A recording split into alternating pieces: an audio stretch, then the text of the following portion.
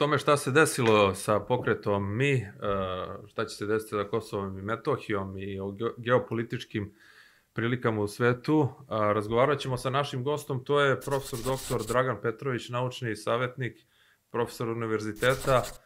Najpre zapratite kanal Pravi odgovor, a evo želimo dobrodošlicu gospodine Petroviću. Hvala što ste tu. Hvala najviše na pozivu. I recite nam, po vašem mišljenju, evo, poznajete čak i dosta tih ljudi, ko je tu kriv za raspad mi glas iz naroda i sve ove svađe?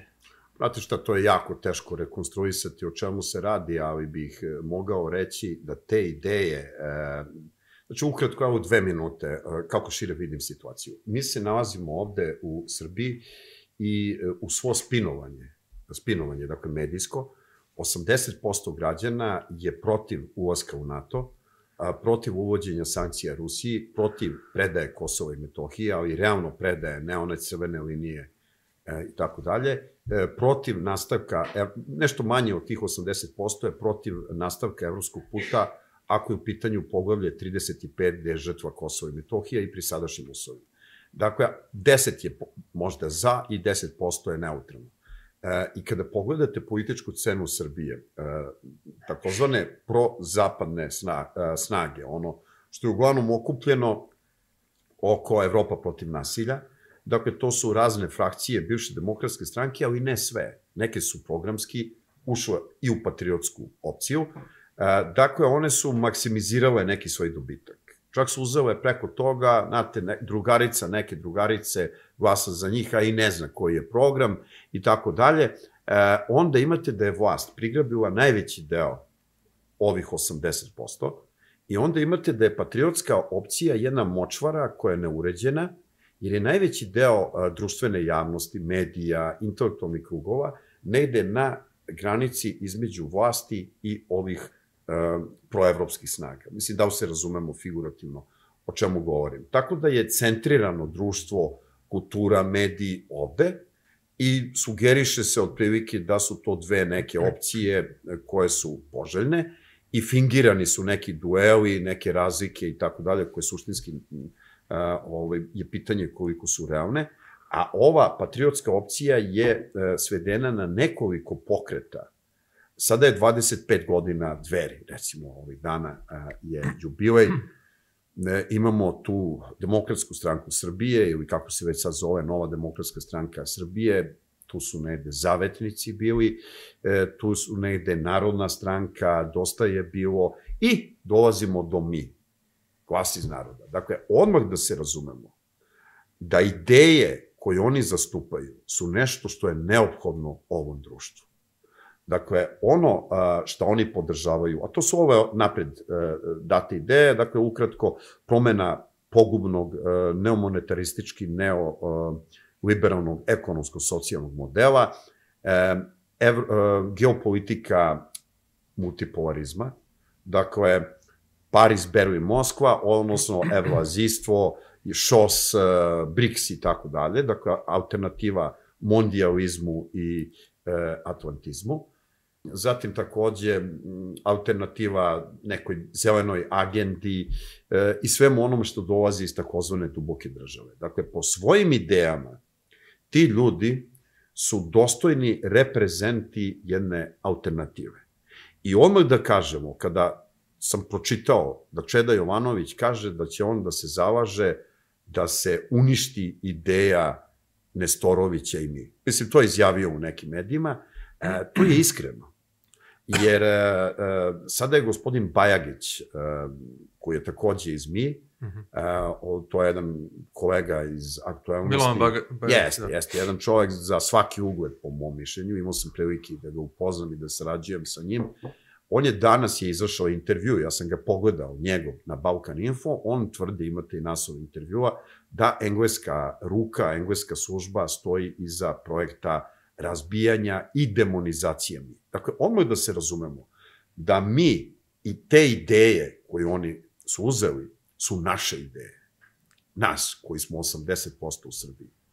I e, to je nešto, dakle, sada kada kažemo da je to nešto što je dobro, kao ideja, mi možemo razgovarati i tu ćemo se složiti, ceneći vreme, da pređem na suštinu, ja sam to i rekao više puta, da organizacioni pristup, dakle, statut i ostalo, e, je slabija tačka e, njihovog poduhvata. Dakle, oni su imali, dakle, ideje su dobre, ti ljudi imaju svoje biografije, više manje, da ne ulazimo u detalje, neki imaju više, neki imaju manje, ali u principu oni mogu to da a, ovaj, reprezentuju, međutim, i postigli su uspeh, znate. Ja ne kažem da je to, da taj uspeh ne bi bio veći, da se oni nisu bolje organizovali.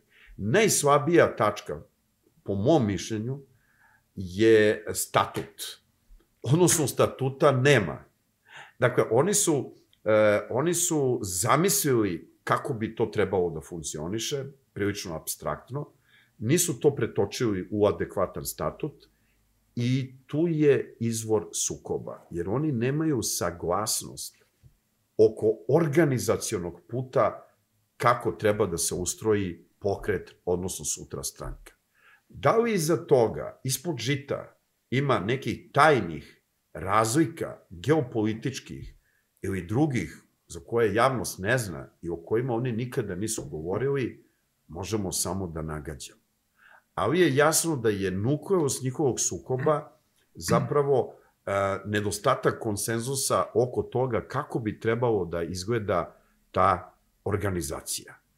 E, s time da potpuno razumem gospodina Nestorovića i Pavića koji kažu da to kako su ovi predložili ne samo da nije demokratski, to zapravo ne može da postoji. Dakle, e, ja sam politikol u političkim naukama, to je politikološki odsek, sam završio na osnovnim studijama, to je kako se formira politička stranka, politički sistem i razumete, znači to ima veze malo i sa pravnim elementima. Dakle, to kako su oni predlažu, da njih se, e, ovako, sad ću pokušati u jednoj minuti, pa sam završio ovo pitanje.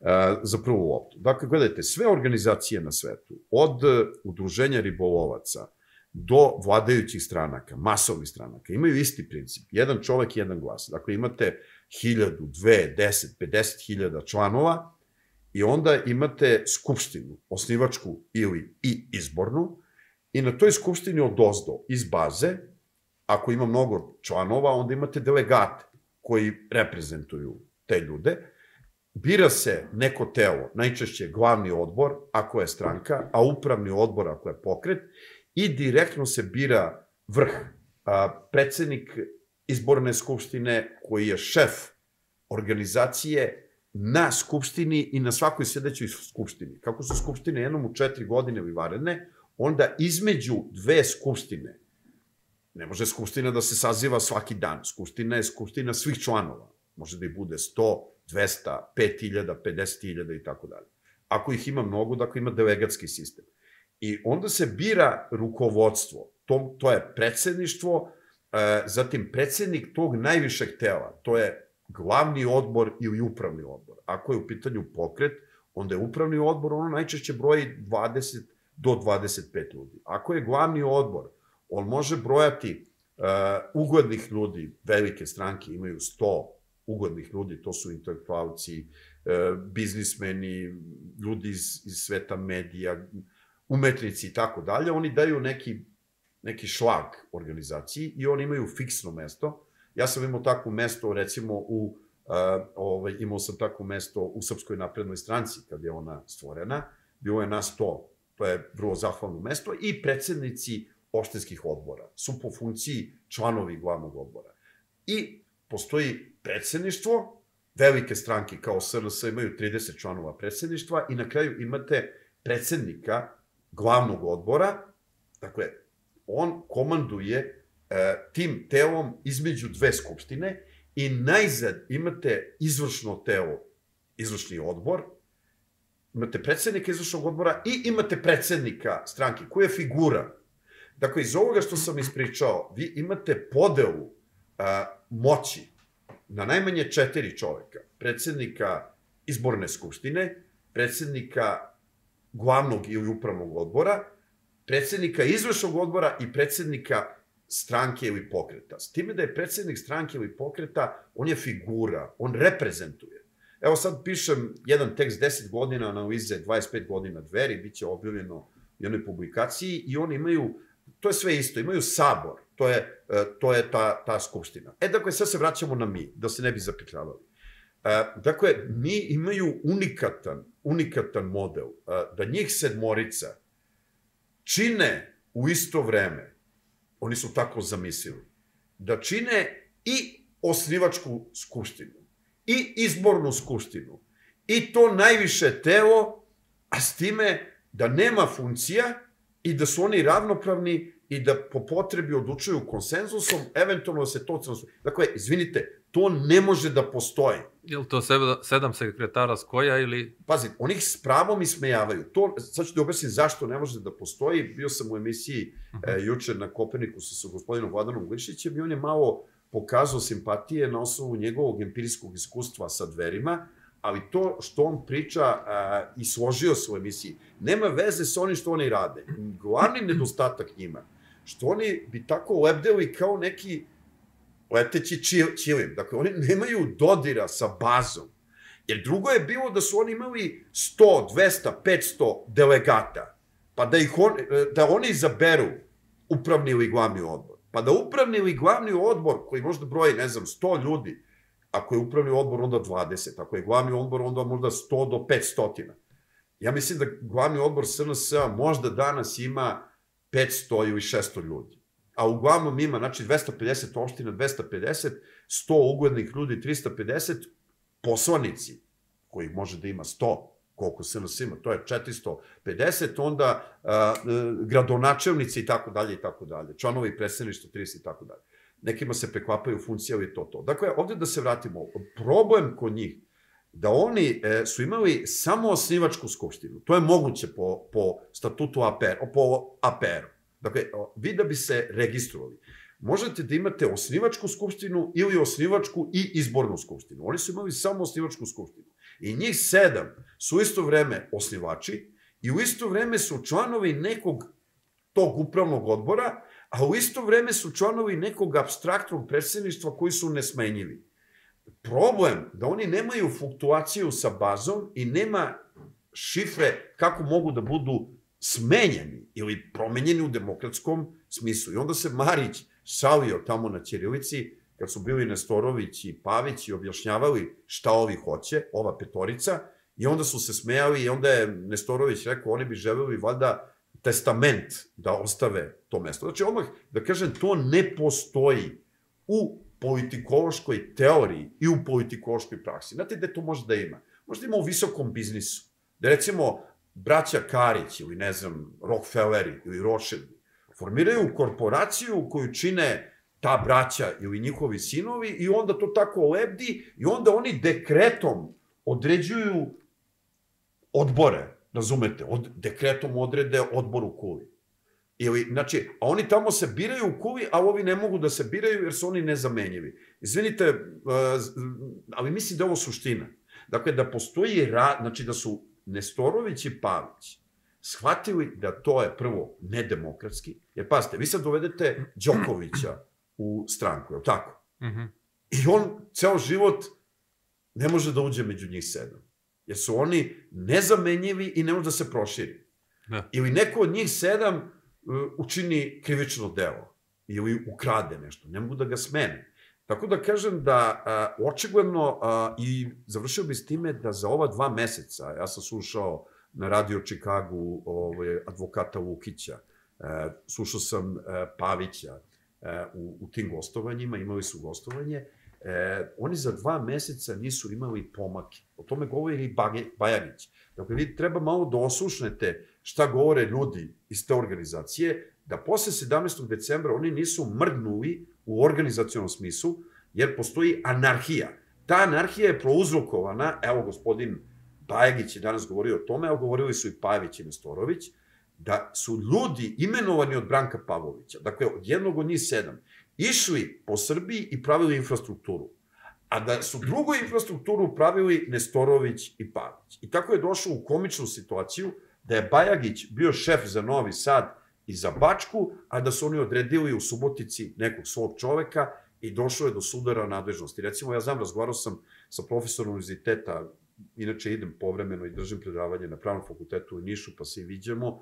Profesor Dragan Čorbić je određen za a, Niš tamo i oni su imali isto pre toga jednu situaciju da je, ne znam, neki košarkaš bio određen tamo pa je rasturio taj odbor. Dakle, oni imaju sudare nadležnosti jer nisu stvorili statut koji je prihvaćen i zapravo a, fenomen njihov je da su oni a, se formirali sa samo osnivačkom skupštinom. To je taj najniži ler u APR-u. Dakle, u APR-u je moguće da se prijavite samo sa osnivačkom skupštinom, ne postoji ni jedna funkcija u organizaciji.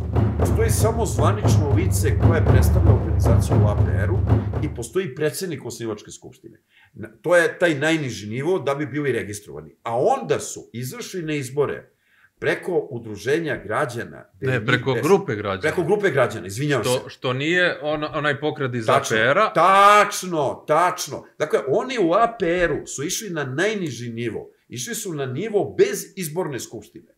A, izborna skupština podrazumeva upravni odbor, predsednika i tako dalje, predsednika upravnog odbora, predsednika pokreta, predsednika izvršnog odbora.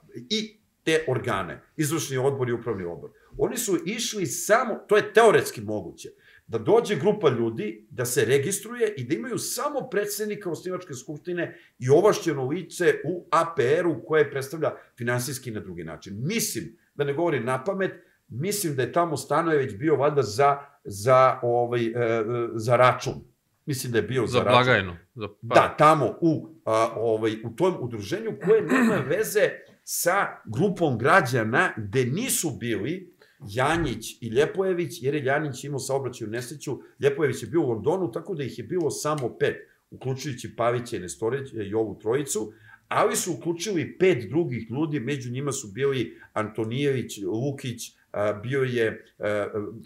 Jelena Pavlović je bila, Janjušević jest, i Jerković. Jeste, jeste, u pravosti. Eto, u pravosti. Sad smo razjasnili i zato da se, e, se govori o dva različita fenomena o, o ovaj, udruženju koje je jedva registrovano sa minimumom aktivnosti o kojima sam objasnio, ne znam stvarno ko je predsednik osnivačke skupštine. To je bilo vrlo interesantno, to više nije ni bitno. Dakle, njima predstoji, to je kao neki embrion da vi kandidujete kao pravo lice. Dakle, sad, jedno pitanje.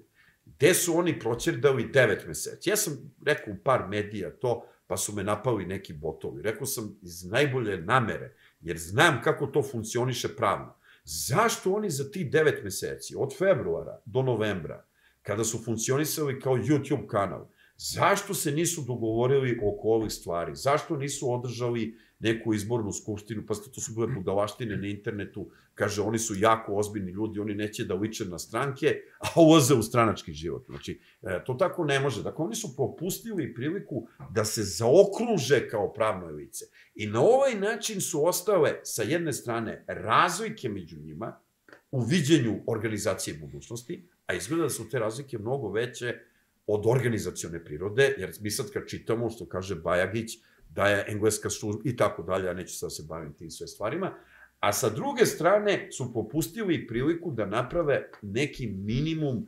infrastrukture tog udruženja, kako se zove Mi glas iz naroda, što bi im poslužilo, jeli, da kad izađu na izbore. Jedno se mora priznati, oni su postigli uspeh.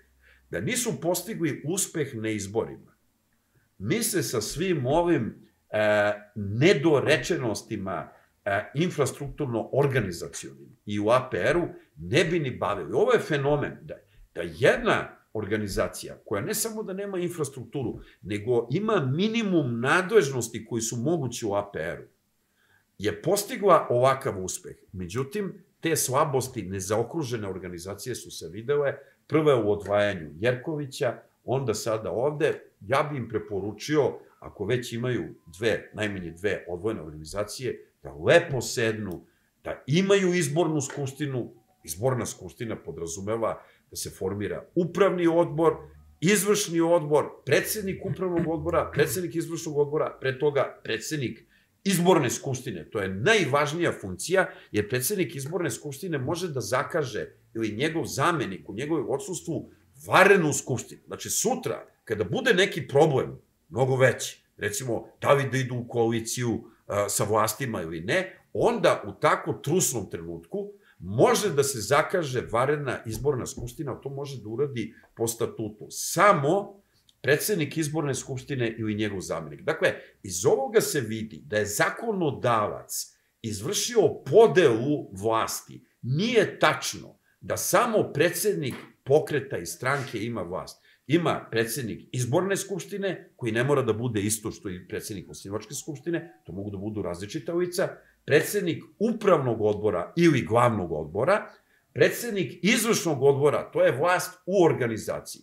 Setite se rivalstva Mićunovi Đinđić. Đinđić je bio predsednik izvršnog odbora demokratske stranke i bio je najjači u stranci, a Mićunović je bio predsednik stranke, onda su se oni sukobili. I najzad imate, e, i najzad imate ovaj, predsednika uh, glavnog odbora, to je telo gde se donose odluke, i imate predsednika pokreta ili stranke, to je jedna figura koja reprezentuje stranku ili pokret, ali on može biti opozvan po mehanizmima i, iz, i upravnog, odnosno glavnog odbora i izvršnog odbora i naročito od predsednika izborne skupštine. Prema tome, e, nije tačno da predsednik, sem u diktaturi, koja je hipotetički moguća, predsednik stranke ili pokreta ima koncentraciju vlasti. Najzad završio bi sa time da je moguće u političkoj teoriji da postoji kolektivno rukovodstvo, ali to kolektivno rukovodstvo mora da ima ovaj piramidalni demokratski sistem koji oni nemaju.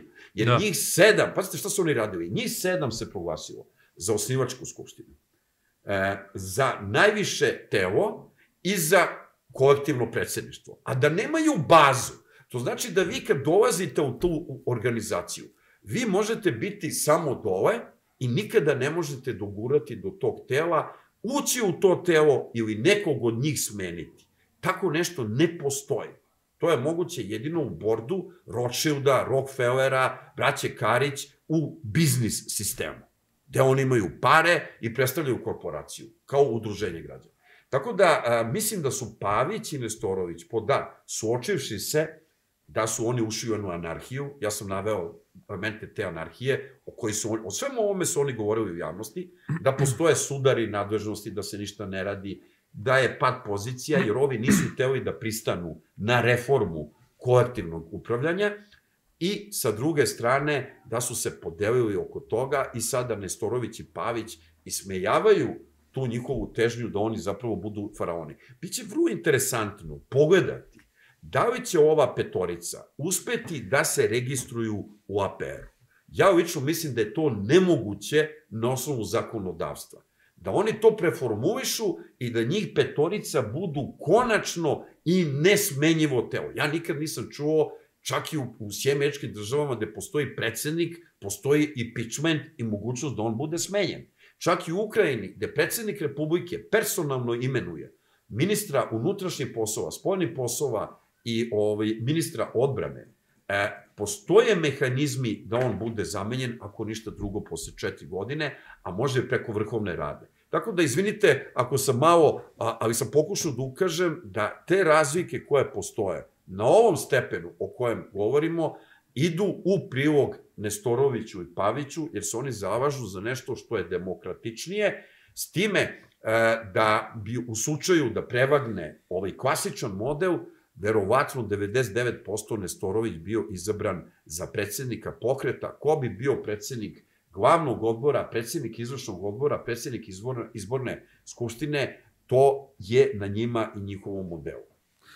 Da, a, vi ste a, govorili nešto i na svom kanalu, pa ste nešto pričali o Pavloviću, da je on imao navodno neke planove ranije vezano za pokret i osnivanje stranke pa, i ne, sad, ne, da, sad da li je to Aha, sad mislim zvuči ne, malo, ne, ne, jeste, malo, znam, znam malo to, to, to, fantastično, ali da. Ne, vidite vam kažem, oni su divni ljudi na svoj način. Ja to moram mm -hmm. da kažem ovde. Ljudi kurtuazno hvale neke ljude, ja ne hvalim kurtuazno i uopšte ne diskutujem. Moram da priznam, pošto je vreme novac, da je ovaj, e, nastupe e, Pavlovića o ekonomiji i u pravu, e, nastupe generala Kovača e, po vojnim pitanjima, e, nastupe Aleksandra Pavića uopšte i Siniše Ljepojevića o spoljnoj politici, a za neka pitanja je Nestorovića, s tim da je Nestorović stručan za ono što se ja ne razumem, to je medicina. Ja sam svoje vreme gledao ih i pratio. To su izuzetno ljudi, ja ne znam nijednog čoveka koji nije studirao ekonomiju, a da ima tako dobra znanja iz ekonomije kao Branko Pavlović. Znači, e, gledajte, znači, ono da se ogradim, to nije slučaj sa svima, ali to ove neke ljude nisam spominjao, dakle, ne hvalim ih univerzalno, nego te ljude koje stvarno pratim i koje cenim, njihovo znanje, jel? E, I ove druge ljude cenim, ali mislim da nemaju baš takvo znanje da bih morao da ih pratim stalno. E sad, e, jednom prilikom, inače Branko Pavlović je veliki gospodin, on ima mhm. manire mm -hmm. i to budite sigurni. Znači, da. on, e, ja njega znam više od 10 godina i on je jedan od onih ljudi koji se ne bratimi sa vama, nego drži jednu kulturnu polu distancu, ali je ona na gospodskom nivou. Mm -hmm. Ne znam da se razumemo. Jednom yes, prilikom, kad smo se vraćali zajedno ovaj, iz KTV-a iz Renjanina, on me povezao kući, jer smo zajedno bili imali smo odvojene emisije, a eto, i onda smo razgovarali i ja sam ga pitao, pošto, zašto sam pitao? Zato što uh, postoji organizacija čiji sam ja predsednik i ta organizacija je zainteresovana, pošto je mala organizacija, dakle moraju da shvati gledalci i kaže izađi na izbore, pa da izađeš na izbore, to je kao da plivaš, da preplivaš Pacifik. Mm -hmm. To je mhm. gotovo nemoguće. Dakle, izaći na izbore znači da vi morate da imate a, oko 17.000 kontrolora u koje morate da imate poverenja, da oni nadziru na izbornim kutijama, morate da, da imate da. novac, infrastrukturu, to je nemoguć posao. I onda manje... Ali nije nemogo, jako je težak. Jako je težak. Jako 17, je... evo, ja sam naveo, recimo, primjer da samo 17.000 mailova poslati neko obaveštenja tim kontrolorima ili nešto tako ali je vrlo korisno imati ih jer odmah imate od njih 10.000 potpisa vam treba.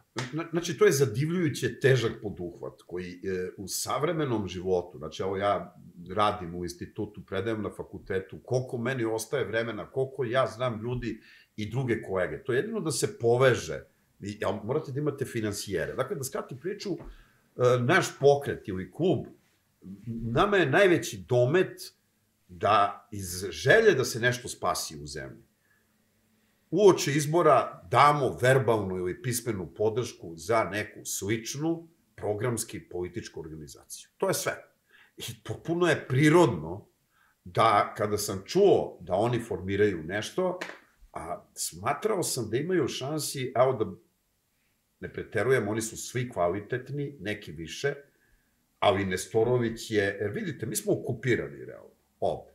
I šansa da neko, već sam rekao da je čitava scena na televiziji, u medijima, dodele nagrada, e, sve prilagođeno tom dodiru između vlasti i građanističke opozicije. Ne znam da se razumemo. Znači, taj vredonosni da, da. sistem. Da. Znači, taj, i onaj, znači, koja je pri vlasti kao Brnabićka, a ili Mali ili Vesić, a naginje ovim žutima, to je dobitna kombinacija. Ta je predodređena, dobija grantove, priznanja, razumete, mislim, mi smo faktički protektora. I onda u tom slučaju jako je teško da se neki, neka javna ličnost toliko proslavi u narodu, ona mu neće dozvoliti, neće mu dati u medije, neće mu dati podršku, nagradu, e, katedru, e, biznis projekat i tako dalje. I Nestorović je uspeo. Nestorović po svom misaonom elementu, apsolutno pripada patriotskoj opoziciji. To možemo da budemo sigurni.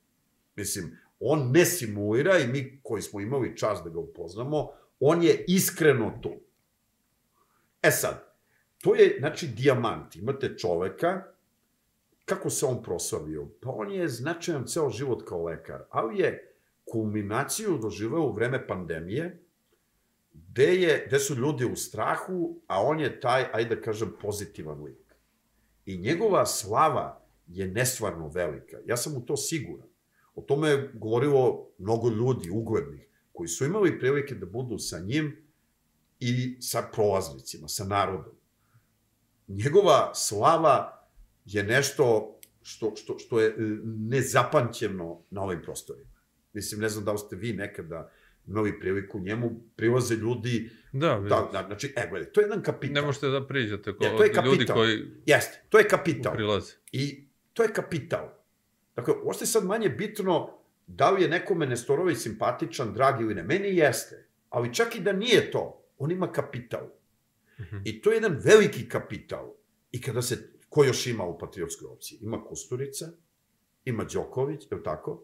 Da. Bodiroga, ne znam, neki veliki poznati sportisti, e, možda glumci, nažalost, malo je glumaca patriotske orijentacije a, i tako dalje. Ali ovo je, ovo je jedan veliki kapital. Možda Jokić nema u tom smislu jer nije igrao toliko za reprezentaciju. Da, i... da, da, ali se slažemo da ima. Dakle, da. Recimo ne- kad bih hteo politički, možda bi mu rekao, ja A- nisi igrao za reprezentaciju. I to. Dakle, e, da se vratimo ovde, ulazak Nestorovića imaju i Pavić, i Pavlović, i Ljepojević, i Kovač i tako dalje, ali ne na tom nivou kao Nestorović.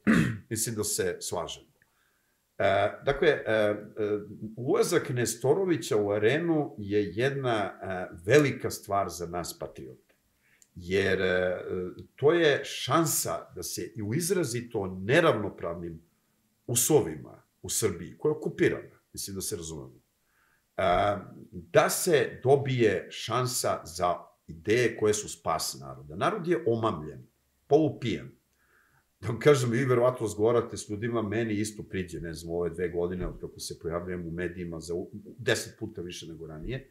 I onda to iskoristim i kad je prilika, naravno, ne mogu sad u autobusu, ne, malo oni mi priđu i pohvale za nastupe. Uglavnom, kod nas je Rusija najpopularnija naj, najpopularnija sila, to je tako tradicija, i, ovaj, i svi ti ljudi su rusofili. Ali kada ih ja pokušao s njima da razgovaram o stanju u zemlji, ljudi vrlo bojažljivo govore o režimu. E, Budite sigurni, vrlo bojažljivo. Znači, to je čitava psihoanaliza, oni se nesigurni su da kažu da je vlast loša. Ne da možete da iscedite da je stanje loše u društvu. Mhm. I otuda je e, prilično teško poentirati. Veliki broj ljudi postoji koji vide da je nešto trulo u Srbiji, ali negde misle da Vučić pokušava da iscedi suvu drenovinu za patriotsku stvar. Dakle, do te mere su mediji takvi da obrađuju ljude. Govorite o običnim ljudima Običnim ili ljudima, intelektualcima? O, običnim ljudima. Intelektualci, ako su iskreni, imaju bolji uvid, jer razumeju da smo mi uništeni ekonomski. Mi smo, a, ono što običan narod ne zna, e, oni vide tu da nešto nije u redu s Kosovom, ali misle da je on tu nešto dao u iznudici jer bi bilo još gore. Od slučaja do slučaja. Vide da nešto nije u redu, ali imaju zamućenu sliku. Ko je to dao? Da li su to žuti dali, pa on mora? Da li to? Znači imaju, ali vide da nešto nije u redu. Međutim, oko ekonomske stvari, oni nemaju realnu predstavu da je ovo jedna zemlja vrlo loše ekonomski vođena, ali da se to ne vidi najbolje, jer smo prezaduženi i ovaj, nemaju uvida u realno stanje. Dakle, kad bi ljudi imali uvida u realno stanje e, ekonomsku, koje je veoma, veoma loše, e, onda bi oni i drugčije razgovarali. Najzad imate, ako možemo dalje, tako da ovako, da rezimiramo, e, sada udar na mi jeste izuzetno nedobronameran.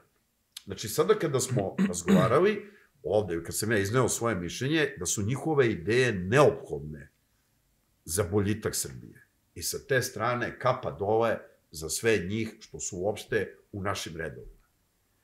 Tamo gde su se oni sapleli jeste organizaciona priroda.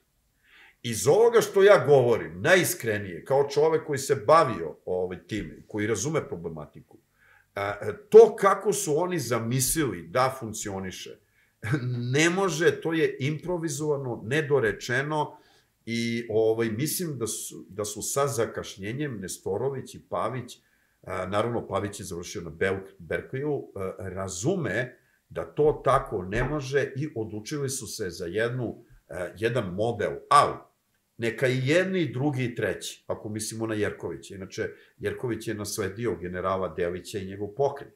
Mhm. Nema nazad iza je Srbija. E, I jedni, i drugi, i treći. Neka oni guraju svako od njih, to je moje neko mišljenje, svoju priču, neka zaokruže te organizacije, neka se bore, pa će praksa pokazati ko će imati više uspeha. Meni se čini da ova grupa Nestorović-Pavić je, e, ima daleko veće šanse, i da oni se zalažu za realniji i demokratičniji ovaj, statut i politički sistem, uređenje koje će dati bolje rezultate, a plašim se da ova grupa e, sa takvim statutom E, koji vrlo teško može da funkcioniše i sa takvim ustrojstvom, bez Nestorovića i ozbiljno okrenjeni međusobnim uvredama prilikom uh, razilaženja, uh, nemaju preveliku perspektivu. Oni da. imaju uh, određeni broj poslanika, imaju određenu snagu, ja im želim sve najbolje.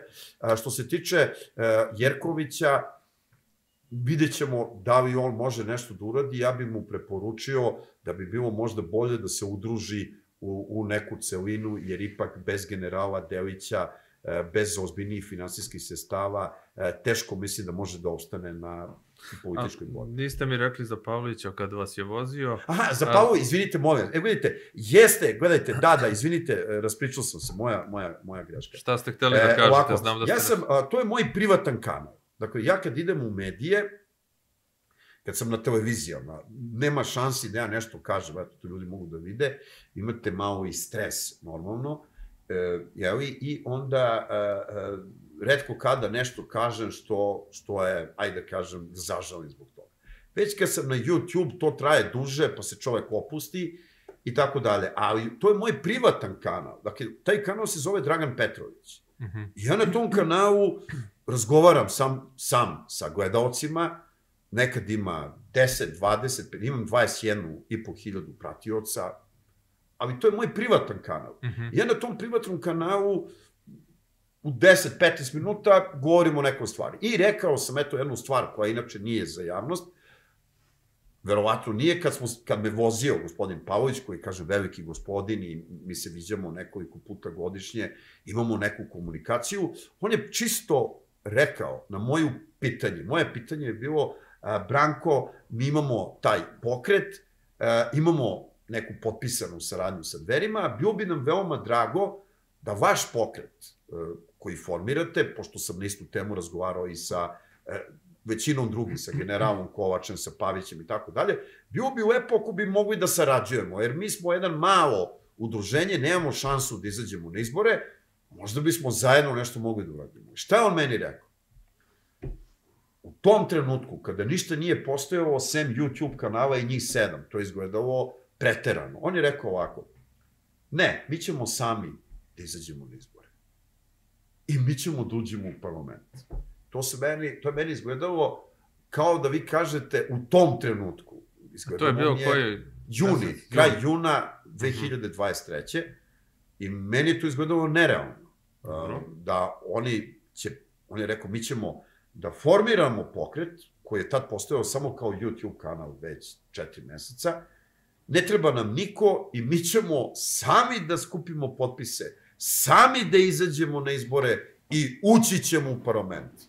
I za mene to izgleda, a onda je rekao jednu rečenicu koja je nadrealna, ja sam sad bezobrazan što je prenosim, jer on čovek je to meni rekao u četiri oka. A za mene izgledao, znate, kad neko ima, misli da on ima 62 ili 63 godine, nije bio u politici, sem to preko DOS-a. I kaže, mi ćemo da napravimo organizaciju, sami ćemo da izađemo na sedmorica na izbore, ući ćemo u parlament, a onda ću ja, pošto kaže da nemaju organizacione kapacitete oni, što je u pravu i to je pokazalo, onda će on da formira sam svoju stranku jednog dana. Znate, a čekaj, je li rekao svoju ili će možda on da njegovu, u, u ime njih ne, ne, njegovu, napravi, njegovu, napravi njegovu stranku? Njegovu stranku. Znate kako to je... Uh, Pazite, sad prvo je bezobrazno da ja prenosim, pazite, znate šta, on je izuzetno jedan gospodin, ovi, ovi drugi dozvoljavaju i Siniša Ljepojević je na toj distanci. Znači, Siniša Ljepojević vas smesti tu, razumete, znači možete s njim da... Znači, znači malo je e, bezobrazno s moje strane što je sad prenosim Nekako... to. Ali ja sam to promrmljao, nisam imao nikakvu zadnju nameru prema Pavloviću, verujte mi.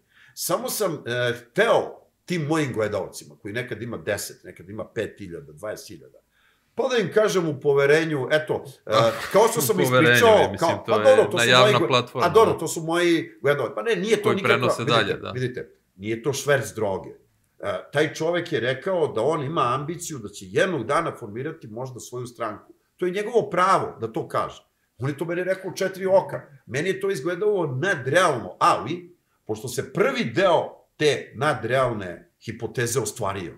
Znate, to kao kad je Ćira Blažević rekao da će on da preuzme Dinamo i da, da osvoji šampionsku titulu pa da uzme kup. On je uzeo jedno i drugo, a Dinamo nije bio šampion 25 godina.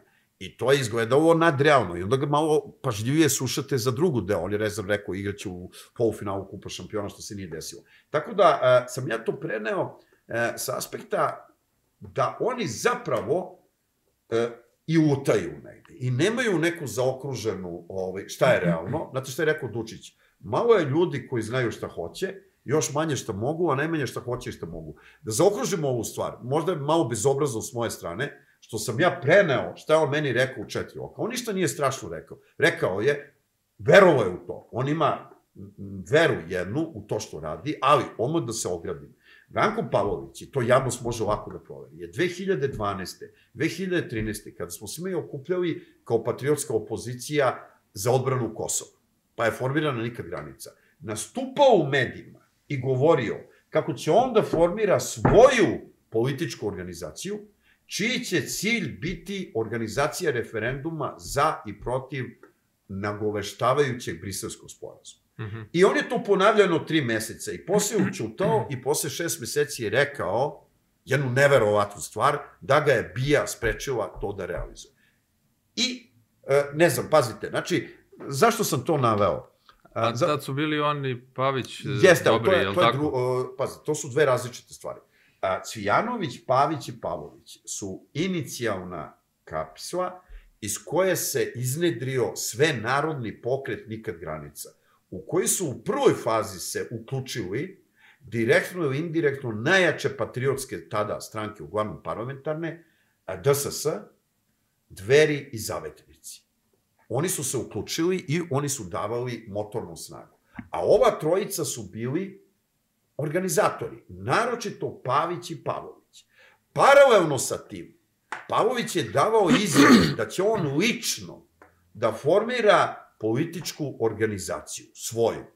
I zato sam ja to spomenuo, jer znate, kada gledate, pa ništa nije bilo toga, onda vi već malo sa podozrenjem gledate sve te izjave. Pazite, u ovome nema ničega problematično. Svaki čovek ima pravo. Ja sam rekao jednom, Meni je otac bio profesor univerziteta, ja nisam imao predstavu kako to izgleda, on je umro relativno mlad. Ja sam jedno, rekao u jednom trenutku, hoću ja da budem profesor univerziteta, jer je moj otac bio, pa da idem dva puta nedeljno na posao, da pišem knjige i da radim, ali zapravo to je vaše pravo. Ili što je Bjekovićev sin rekao, hoću jednog dana da igram u Partizanu. Tako da je potpuno legitimno i tu, ja sam se začudio, ja, zvali me naši ljudi iz Beča i kažu mi, ova, o, o, kaže, hvala ti mnogo na tome. Ja nikakvu zadnju nameru nisam imao prema Pavloviću. Pavlović je jedan a, veoma sposoban čovek na svaki način. Jedan čovek za uvažavanje.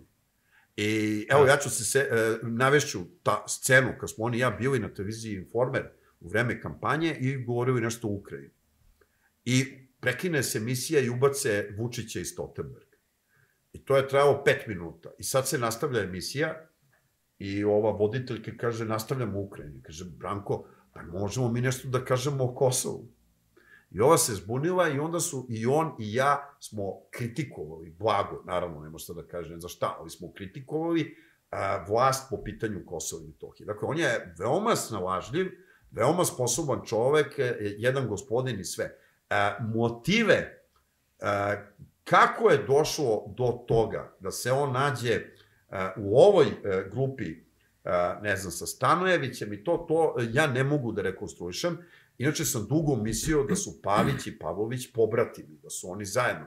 Tek posle ovaj Vera Miletović izašao u jednoj emisiji kod Dejana Vučića i rekla da između Pavlovića i Pavića postoje velike razlike, onda sam ja to čuo od sasvim drugih ljudi i tako da. Dakle, niko, gospodine Nikša, ne može da vam objasni suštinu njihove razlike osim njih samih kada i ako budu spremni da, da o tome govore. Ja mogu samo na, na bazi ovih stvari da, da gledam, ali sad kad je Bajagić izneo da engleska služba je učestvovala, onda su to, pogledajte intervju, pogledajte mhm. šta je izlagao, on je šef mi za Vojvodinu, tačnije za Bačku i deo Srema i za Novi Sad, onda bi oni sami morali da progovore. Na kraju da kažem e, da mislim da Nestorović i Pavić i ta njihova grupa je jedna koja će, koja će osvežiti političku scenu Srbije i koja bi mogla, ako nešto preostane, od dveri, dss i ovi drugi, da se napravi jedan konglomerat, jer Niša, mi treba da se borimo za ideje, ne za ljude. I ne treba da se bavimo njihovim ličnim sukobima i aspiracijama, već idejama kako da podignemo ovaj narod i kako da spasimo ovo što je ostalo prezadužene Srbije od Kosova i Metohije, koje nikada dalje od nas, Srba i od ostatka Srbije. Dragi naši, zapratite kanal Pravi odgovor. Time pomažete naš rad. Hvala. Vi ste gostovali u toj emisiji sa Oliverom Miletović i sad ona je više puta mi glas iz naroda nazvala šarlatanima, kao ljudi nisu glasali za to tako, oni se tu sad cepaju i tako dalje. Međutim, ona kaže da je podržala Vučića. Pa kako ona u tom čoveku ne vidi šarlatana? Svi mi nosimo krst.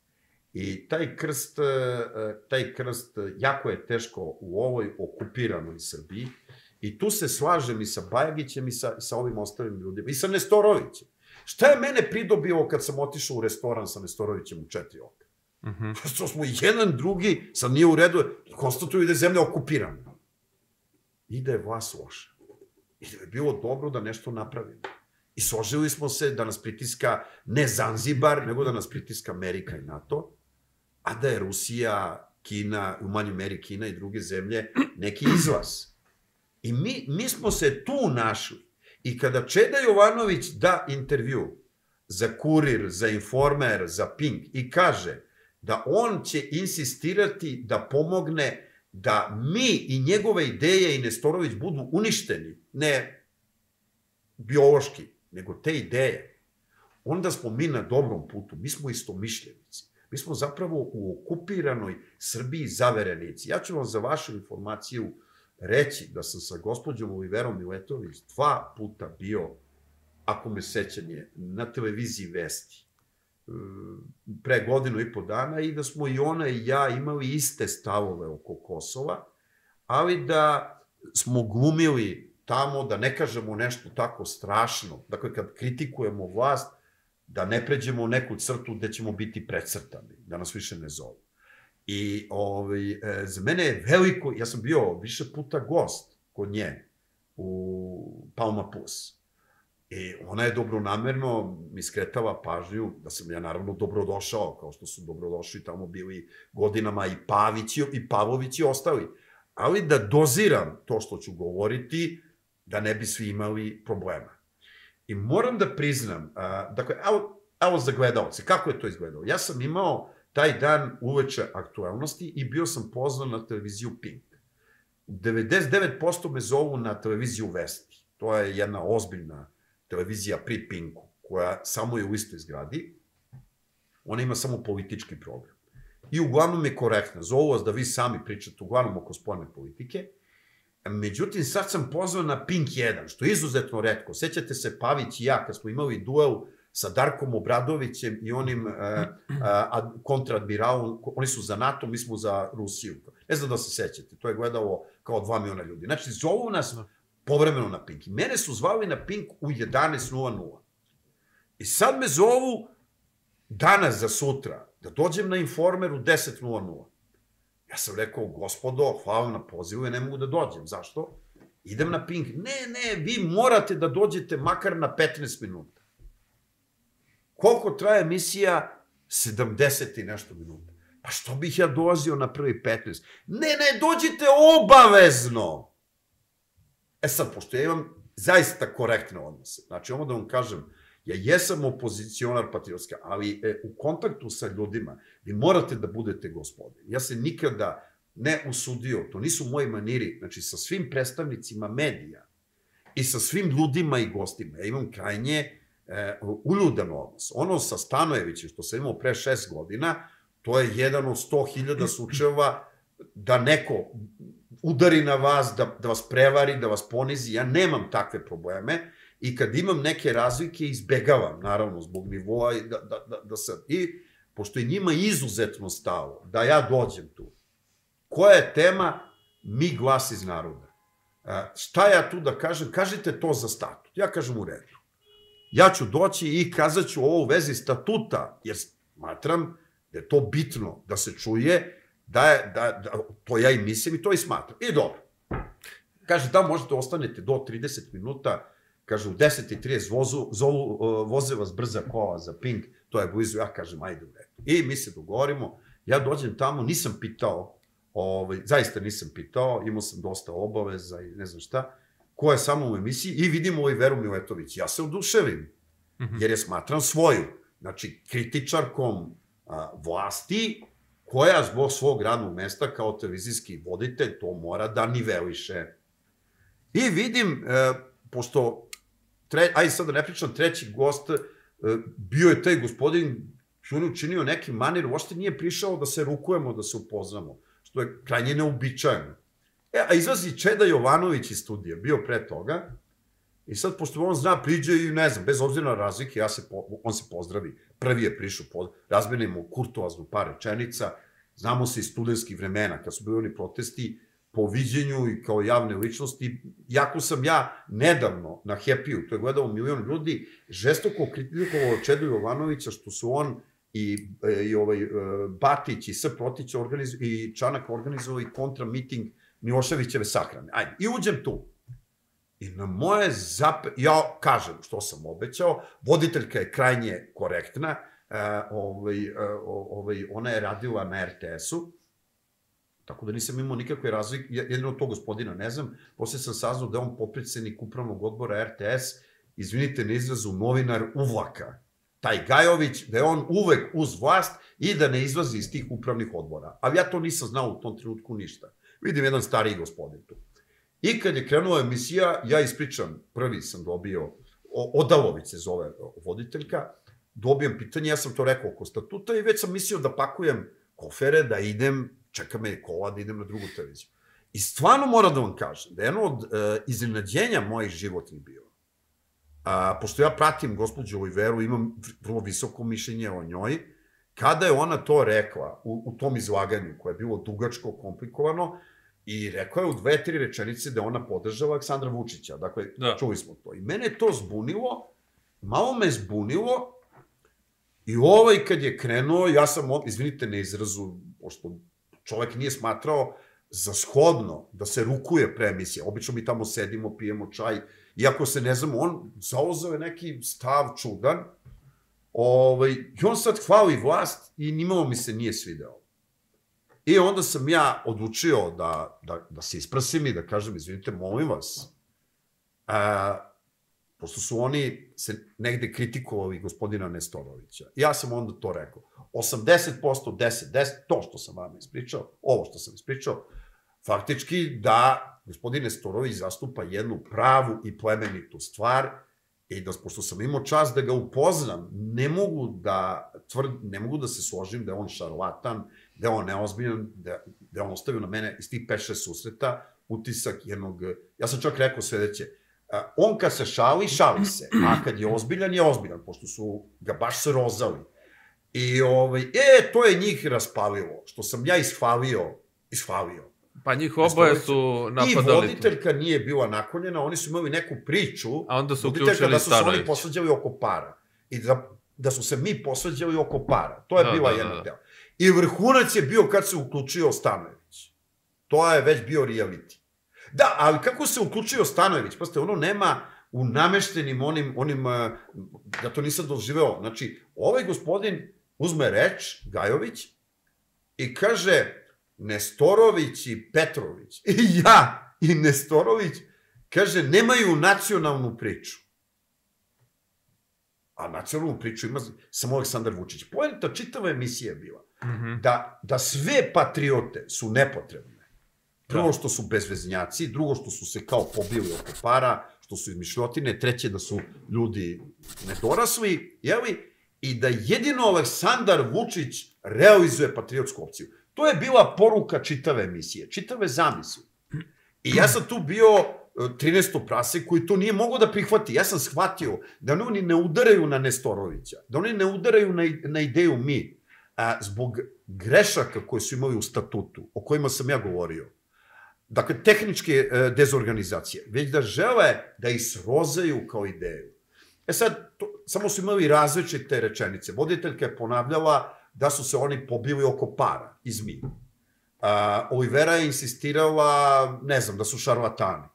Ovaj gospodin je rekao da su oni izdajnici, znate, iz tog vokabulara, da. neke buda. I onda ja nisam mogu da izdržim. Ja kažem, gde je to gospodine Storović? I njemu upadnem u reč, gde je to gospodine Storović? A, nema nacionalni opus, jer vi to znate i onda, i to sam rekao iz mene, i onda on to iskoristio, da sam ja njemu upao u reč i da on sa mnom ne može da razgovara i napustio studio. Ovo je prvi put da je neko napustio studio, to znači da je to bilo izrežirano. Dakle, ako se vraćamo na ti 15 minuta pre emisije, da. kad mi zajedno pijemo čaj da bi, i družimo se... Da bi stavili u naslov da, napustio studio i onda da to bude gladanije. I, ja sam tada shvatio da treba da idem, da me zvao šofer da treba da idemo i tad me dokačio Stanojević.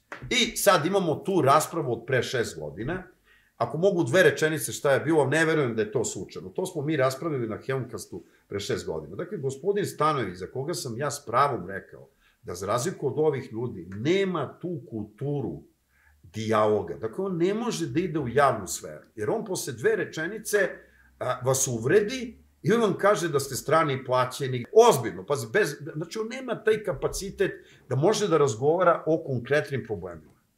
I razgovor sa njim se svodi na etiketiranje. Međutim, imamo jednu strašnu međusobnu brazgotinu, ja sam onda to ispričao, a ovaj, i posle kad sam išao u kolima, evo čemu se radi. 2018. A, mene je zvala naša dijaspora da e, držim, o, ja se izvinjam ako govorim glasovi tiho, jer ne znam mhm, intonaciju, mm -hmm. da li ovo dobro, dobro ne, dobro. jer obično mi ovako stave i tako dalje, ako je preglasno, izvinjam se. E, ovaj, I išao sam u Skandinaviju. Držao sam tribine kao intelektualac u ime naše patrio, ovaj, slušaj mene patriotske, u ime dijaspore. I sad ću vam reći jednu rečenicu koju nigde nisam rekao koliko smo mi ozbiljno okupirani. A, a, a, četiri tribine sam imao u Norveškoj i sada treba jednu da održim u Stokholmu, u Švedskoj. I ja zovem po preporuci gospodina Maksimovića, koji je predsednik srpske dijaspore u Norveškoj.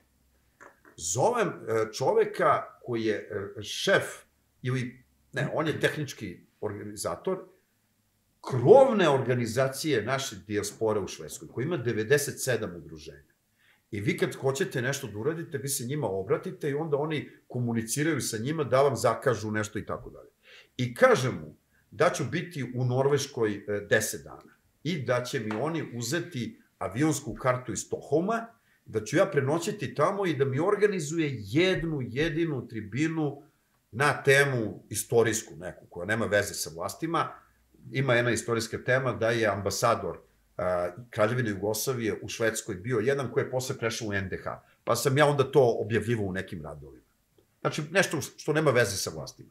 I on me pita koliko ja tražim para za to, ništa. Koliko tražim, ništa ne tražim. I on me zove za par sati i kaže, svi 97 organizacija je zauzeto. To znači da on zvao ovaj, ambasadu ili je zvao BIU i rekao da sam ja u pitanju i oni su mu rekli otkači ga. Pa što, ovo je istina što on priča. Mm -hmm. Kao što je istina, dve, to je bilo 2018. kad sam u Parizu bio i tamo da su nas otkačili, a, tad je Vučić dobio orden od crkve, a ja sam držao tribine u ime e, naše crkve u zapadnoj Evropi i da, da, to, to je show, to je komedija bilo, na šta je to ličilo. Dakle, sigurno je stigla direktiva da jako, sam, e, jako je sve spremno i organizovano, da smo mi opozicionari i da se držimo na distanci. Ali to je jedna druga stvar. I sad, kad sam otišao tamo, ja saznam od mog domaćina, da su se oni dogovorili jer je bio ranije parlament srpske dijaspore. To je bio samo u jednom mandatu Cvetkovićeve vlade i to je ukinuto. Znači oni su tada organizovali, samo tada i nikad više, parlament virtuelni srpske dijaspore, gde je svaka zemlja davala onoliko e, poslanika koliko smo mi približno imali dijaspore. Tako je Nemačka davala četiri, e, Ukrajina je davala jednog, Švedska je davala dva, Norveška je davala jednog. I moj domaćin je ne samo predsednik e, dijaspore, nego je član parlamenta srpske dijaspore. Ajde da se ne zapetljivam, završavam za dve minute. Ja sam održao tamo tribine, bilo je blokade, kad sam trebao da držimo u, u, u osu, ovi e, svezali za jedno drugo mesto, posle ovaj nije ni došao i videli smo da je to a, vlast preko ambasade e, talasava, da što manje ljudi došlo, dođe, jer mi smo pored zvanične tribine, koja je bila istorijsko-kulturnog karaktera, pričali o politici sa ljudima iz diaspore i ovi su očigledno iz a, a, te diplomatski kor bili zainteresovani da to bude što manje evidentno. O, ako vam kažem da je ovaj gospodin bio jedan od finansijera i pomagača dveri, onda će vam biti jasno da je to bilo na crnoj listi. Ja da skratim priču, pre odlaska tamo mi smo ručali sa Stanojevićem i gospodinom Janjićem iz Stohoma koji vodi korene, jer su se oni dogovorili da naprave udruženje građana od predstavnika srpske dijaspore. I sad dolazimo do Stanojevića. Ja njega znam pre toga 10 godina, on je jedan simpatičan a, gospodin koji je proruski orijentisan i kad on dođe ovde, mi se vidimo, vidimo se i na prijemima u ambasadi i tako dalje, čak kad je bilo zasedanje ODKB, On je tada preko generala Delića bio jedan od presedavajućih. Dakle, on ima izvesne veze tamo, u Ukrajini, sa ruskom pričom. I to je činjenica. I mi smo se povezali na toj osnovi. E, gledajte sad, e, ovaj, e, ovaj e, moj domaćin me uvuk, on, ja sam ušao u tu organizaciju, oni su se svi složili da ja budem predsednik političkog saveta i da dovedem deset intelektualaca i da to zaživi. Ja da skratim priču, Bio je neki četvorostrojposoban, usuzan stan u Vojvođanskoj ulici u Prizemlju na Novom Beogradu, koji je ta organizacija koja je registrovana tek zakupila. I to je dobrim delom plaćao taj Maksimović iz Norveške, ko je još davo Kuvić iz Nemačke, da li je davo i šta je davo Stanojević, verovatno mnogo manje i tako dalje. On se vratio prilično ekonomski ranjen iz Ukrajine 2015. o tome je govorio i goli život kod Marića, ja sam njemu tada pomogao u četiri stvari. To su činjenice. 2015. Organizovao sam mu donatorsku večeru u Novom Sadu. Uh, on i ja smo zajedno nastupili na televiziji uh, Most, ima ta emisija veoma gledana. I ja sam mu omogućio da gostuje na, prvom, na drugom programu državne televizije emisija Besednik u Novom Sadu, gde on gostovo. I uh, četvrto, išli smo a, ovaj, u župu Aleksandrovačku i povezao sam ga sa malim privrednicima da ih on poveže sa Rusijom, da izvoze to i neke ručkove, ovaj Vasiljević iz udruženja veterana. Dakle, ja sam mu tad pomogao, ali se video da on nema uticaja da poveže te naše privrednike sa Rusijom i da je mnogo tanji nego što je izgledalo. Ali da skratimo priču, Ja sam na njega gledao dobronamerno, a na ovog Maksimovića sam gledao kao na mecenu i ozbiljnog delatnika, tamo kad sam bio u Norveškoj, on je inače iz Prištine. Mm -hmm. I možda se snimi film o njemu, njega je zatekao 24. mart 99. sa koferom mladi e, student u ruci, pregovarao je nešto preko nekih nevladinih organizacija u oči rata i on je napravio imperiju u Norveškoj. Znači, radi, radi čovek, završio je elektrotehniku, studirao je strane jezike, nije završio i on je stručak za kompjutere i on recimo radi dva posla, kupi stan, uzme kredit, kupi kuću, onda je napravio, ima, oženio se posle, ima ovaj, velika klinika stomatološka, pa ima salon lepote, pa ne znam šta. Znači čovjek je razbio ozbiljan biznis, veoma, veoma sposoban, dobronameran i on je držao našu dijasporu i organizuje demonstracije protiv Kosova i jednom su mu podmetnuli E, eksploziv tamo u kući gde živi i razneli su mu njegove automobile i nekoliko ovih norveških, pa je to osiguravajuće društvo nadoknadilo. I mi smo kao tako funkcionisali. Ja sam bio neki port parol. I kad sam išao u Rusiju, tada išao sam na 20 dana, on mi se nešto žao i kaže, vidi, ja sam jedini imao ključeve od tog stana, on i Stanojević, koji žive u Priboju. I u tom stanu je bilo uređeno, bio je neki, ne znam, ono sve rodi, sad da ne pričam, transparentni, 100 metara dugački i tako dalje. On mi se nešto žalio da oni pune tu kasu, a onda stano je, on mi se žalio. Ja ne mogu sad da stavim ruku u vatru da li je to tako ili nije, ali što bi mi se čovek koji daje nekoliko hiljada evra za razne stvari mesečno žalio za nekih 200 evra. Razumete? Znači, ne znam da me razumete. Kaže, molovali su neki radnici, ja sam to video, ovaj, kaže, i umesto 100 evra Stanojević otpiše i zajednički kaže se 300. Pa kaže, da se to počisti, dođe njegova čerka, pa bio bi normalno da to uradi za dž, da to opere od, movanja. Kaže, ona uzme pare iz kase, ali ne 20 evra koliko to može da košta. Evo, ja nisam biznisman, oni znaju. Nego kaže, uzme 100 evra. Baš sam zapamtio ove dve stavke. I onda on počne da gunđa da mu to nije drago. Ne znam da me razumete, jer on daje, ne znam, 500 evra mesečno, neće on da propadne za tih 100-200 evra. Nego jednostavno je stekao jedan ružan utisak. On je predsednik izvršnog odbora, a Stanović je predsednik pokreta. I e, bio mu je jedan ružan utisak da razumete o čemu govori. Dakle, mislim, koliko je taj čovek široke ruke, ja kad sam bio tada u Norveškoj, teo da kupim svičuge za svoju čerku. Ali nije bilo e, ti koji sam teo. I posle godinu, dve, on dođe i donese mi svičuge koje mogu plus, e, minus pet godina da se, razumete, podešavaju da. Veličina. Znači, kako ona raste, to košta možda hiljadu evra kod njih. Dakle, nije on, e, njemu bilo bitne pare, nego mu je bilo neprijatno i ovaj Kulić je isto to primetio i oni su se e, prekinuo komunikaciju sa Stanojevićem, da meni Stanojević kaže, e, on je predsednik pokreta, a ovo je predsednik izvršnog odbora, oni ne komuniciraju. Da li ja mogu to da izgladim? I onda u nekom trenutku, ja nisam obraćao pažnju na njihove sukobe, Stanojević sazove skupštinu i isključi Maksimovića. Pa, I tad ja tek vidim statut. I umesto da se zove predsedništvo, čiji sam ja član, ja kad sam pročitao statut, ja se uhvatim uz glavu. Znate što je on napisao u statutu? Oni nisu videli statut.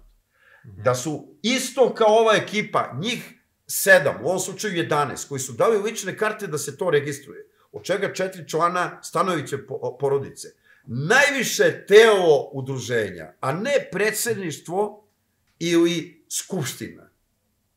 I pitaju mene ovaj, Maksimović i šta da radimo? Kaže, ovo je izgubljena stvar, ljudi. Pa vi ste biznismeni, gde ste bili kad je pisan ovaj statut? Mi ovde ne možemo da uradimo ništa. Jer on i njegova porodica čine većinu. Ovo je sumanuto. Mi možemo da imamo 15.000 članova, ali ovih 11 osnivača je jak, ne znam da me razumete. Ja da. kažem, ovo je prevara. I kaže, što da radimo ovo da napustimo? I mi napustimo to i Stanojević objavi da mi nismo to napustili, već da smo izbačeni, jer smo saradnici stranih obaveštenih službi, a braća Maksimović rade za tačija. Pa da vi shvatate razmere neozbiljnosti. To je kao da mi sad drugari igramo za Coca-Cola košarku, jeli? Ko izgubi plaća Coca-Cola i neko izvodi nož i ubode nek. Razumete? Da. Ne znam, ja sam rekao, beži od ovog Stanojevića, to, to, to, to, to je sumanuto. Znači, umesto da kaže, gospodo, razišli smo se, a, a, žao mi je, hvala Maksimoviću što si davo pare. Čekajte, ajmo da shvatimo koliko je to realno. Ako je to realno, Pa čekaj, sad smo mi otišli i sad, su, sad smo saradnici stranih obaveštenih službi, a da juče smo bili najveće patriote. Hoću da kažem da Stanojević nije za javnu delatnost. Ne znam da li se razumemo. Mm -hmm. Kako je, on ima razmišljanje kao ovaj, uh, ono kako se zove balkanski špijun, onaj Ilija Čvorović. Razumete? Znači, mislim, ne znam da se razumemo. Znači, evo sad ovi ljudi imaju neke razlike i onda sednu i razgovaraju. I ako idu, ide svako svojim putem. Ali da on kaže, e, ti radiš, znači, razumite razmere. Dakle, on je stvarno zaslužio da ovi ljudi dođu, ne znam šta da mu rade, jer oni su dali, do, mi smo tu dobrovoljno bili. I nešto smo dali, ništa nismo uzeli. Hoću da vam kažem da sam ja, kad su se oni skupili, prvo što sam i pitao, šta ćete vi sa Stanojevićem? Znači, Pavić kad je došao, mi smo bili u Beču, sad je to duga priča, pre toga nego što su oni bili. Bili smo u Beču, išli smo u general Kovač, pa su ovaj organizovali iz dijaspore. Znači... I, ja, I kad smo se vratili tu, znači, mi smo imali ideju da nešto napravimo. Kad na jednom čujemo, oni su već napravili to nešto, tajno. Znači... I ja kad sam se video s Pavićem, u četiri, videli smo se, ja prvo što sam mu rekao, šta ćete sa Stanojevićem? Pa kažem, pa on ne ume čovjek da se ponaša, on je koji Ilija Čvorović, on, on nema kulturu, ne znam kako ima obrazovanje, ne znam ovo, ono, šta ćete vi sa njim? I kad su se oni razlišli, aj sad, kad vam pričam, mi posao SMS, bio si u pravu. Znači, Stanojević nema tu kulturu normalnosti. Da on sa vama nešto radi, a da ako se ne imate neke razlike, on će da kaže ti radiš za stranu obaveštenu službu, ti si izdajnik, ti radiš za tačija razumete, on prosto ne može u javnu sferu da ide. On nema tu kulturu, nema taj nivo ili je provokator. I eto, to je to. A, ajde, ostalo nam je malo vremena, dakle, ukratko, verovatno ćete i to pitati. Izvinite, previše ovaj, vremena smo dali ovaj na ovo. ostatak je ekipe to... od pet, šta radi sa stane, verovatno i to pitanje. I da, onda on da na mene paljbu u da toj emisiji, on čovjek nije za diskusiju i njegove gluposti. Ja, ja sam pokušao da odgovorim na pitanje voditeljke i Stanović je polago. Petrović važe, Petrović važe, Petrović važe, Petrović važe. To je njegova kultura, to je njegov nivo. Dakle, on jednostavno nije za javnu stvar. On nema, Dobro. nema taj Dobro, a, ajde da, pa, par nekih drugih pitanja. A, Vučić je rekao da je Tajvan Kina, dakle u intervju e, Dobro. za kinesku, je li tako, e, Dobro. televiziju ili... E, či, to je lepo, time ako se, je to rekao. Time se uh, suprotstavio Americi, ali ne, naravno ne i Evropskoj uniji koja ne priznaje tako Tajvan. Međutim, postavlja se pitanje motivacija da tako nešto izjavi. Da li je motivacija u tome da će Kina sad odjednom zaleći za, da nam se vrati Kosovo i Metohija i da skoči za nas ili je motiv Kino treba nam 18 milijardi za Expo, daj bar 10 milijardi kredita da opljačkam ovaj narod u gole kože i da ovaj ga zadužim do 3500. godine. Ono što je dobro, da on, ako je to izjavio, jer je Kina ozbiljna i prijateljska sila. Da. Ono što je loše, da mi nemamo ekonomsku uh, koncepciju, ozbiljnu, da se ona bazira, uh, izvinjavam se, možda smo izgubili suviše vremena na ove neke Ma, stvari, jasno, da, ali, da se ali, ne vraćamo. Da se ne vraćamo na to. Dakle, ovde je suština i zato pozdravljam opozicionare. Mi moramo da budemo patriotska opozicija, jer režim ima pogrešan ekonomsko-socijalni model. To je pogrešan model. To je naš problem. Mi nemamo para, nemamo sredstava drži se veštački kurs dinara, to je moguće u monetarnoj sferi, deviznim rezervama, to je takozvani fiks kurs e, domaće valute, i to podstiče e, uvoz, destimuliše izvoz i mi imamo ovaj, prenaduvano u evrima plate. A kako nema proizvodnje realne, nama cene idu u nebo i mi smo sve siromašni. Tako da, E, ovo je jedna, nama preti da BlackRock i poverenici e, preuzmu ostatke nacionalnog bogatstva. I ovo mora da se zaustavi. I ovo je jedna velika beda srpskog naroda i ekonomista da se o tome ne diskutuje. Znači, to je suština problema. Znači, predaja Kosova i promašen ekonomsko-socijalni model. Mi zapravo nemamo svetle tačke. Ja ih ne vidim. U celini. Imamo demografski krah. A predsednik tvrdi netačne stvari, da smo mi ekonomski tigar, da se brani Kosovo, ne znam, 5-0, demografiju ne, ne, ne ovaj, komentariše, taj ekspo, mislim da je to jedna, pazite, to ne bi, moglo da, ne bi moralo da bude loša stvar da mi imamo ozbiljnu ekonomiju, kako mi nemamo ozbiljnu ekonomiju.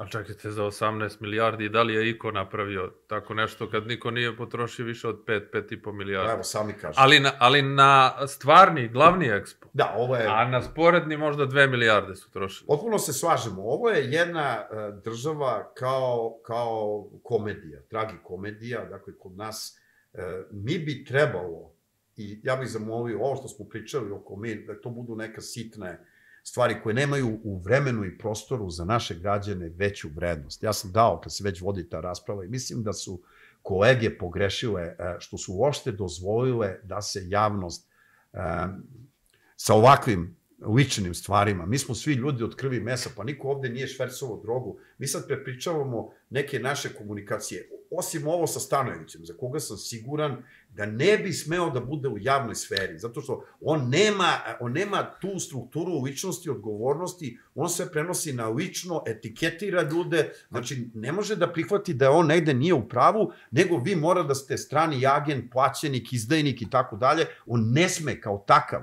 On je etiketirao ove ljude, zamislite ove ljude. Dobro, ajde da se da, ne vraćamo. A, a, da, ali osim toga, ajde, sve to je manje bitno i ako možemo da idemo na neka druga konkretnija pitanja, dakle, e, ja ne bih ovde elaborirao o Expo. Mislim, za Kinu ovo, ok, dobro je da podržimo prijatelje, kao što nismo podržali Belorusiju, nismo podržali da. a, nismo podržali Kongo, nismo podržali Siriju i a, Liban, njima smo uveli sankcije i tako dalje. A, možda dobro je da podržimo neke prijatelje, mada je opšti narativ samo 13 zemalja je priznalo Tajvan u svetu. Tako da... Slažem se sa vama. Jeste, ok, ali ništa spektakularno po mene, ne znam.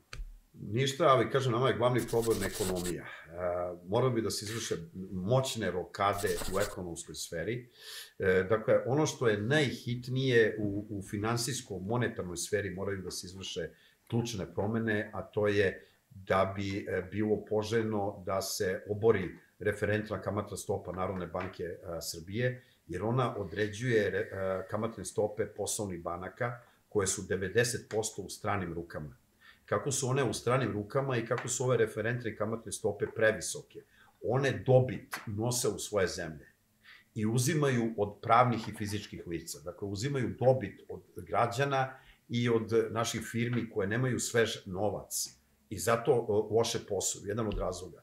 E, druga stvar, e, moralo bi e, da se poveća količina N1, N2, N3, količina novca u opticaju, koja je shodno neomonetarističkoj koncepciji premala. E, treće, veoma važno, kucno je trenutak da se pređe na plivajući kurs dinara. Jedan od razloga zašto vlast insistira na fiksnom kursu dinara jeste što je zamagljena slika društvenog BDP-a.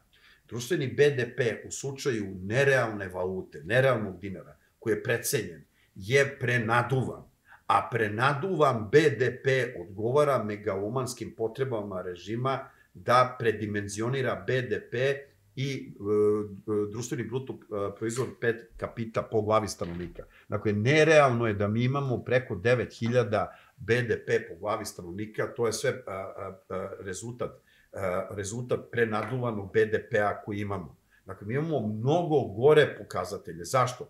A, zato što postoji realna inflacija a ona se ne može obračunati sa fiksnim e, kursom dinara, koji pored toga podstiče uvoz i destimuliše izvoz. Dakle, mi imamo lošu privredu i vi e, monetarne mere ne mogu da reše problem, ali ga mogu dodatno opteretiti. Oni su se opredelili za ovaj kurs dinara e, radi manipulacija u javnosti i radi, e, radi e, stvaranja iluzije da Vučić stalno ponavlja kako nama je prosečna plata sve veća u evrima, a prečutkuje činjenicu da nam se zbog nedostatka privrede i zamrznutog kursa dinara cene rastu u nebo.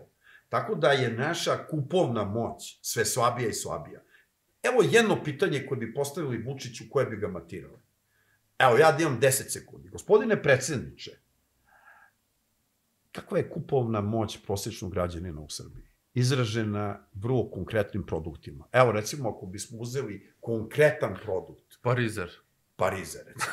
Ili, ja uzmemo čokolno mleko kravica od litra i po. Evo, ne, ne, evo, čo, vi uzmete koliko ste mogli za prosečnu platu mm -hmm. da kupite ili za medijalno, imate 3-4 pokazatelja, pre 10 godina ili 12 koliko danas, vidjet ćete pad. Nama cene tih mm -hmm. produkata rastu u evrima i one dostižu evropski nivo, a plate nam bitno zaostaju.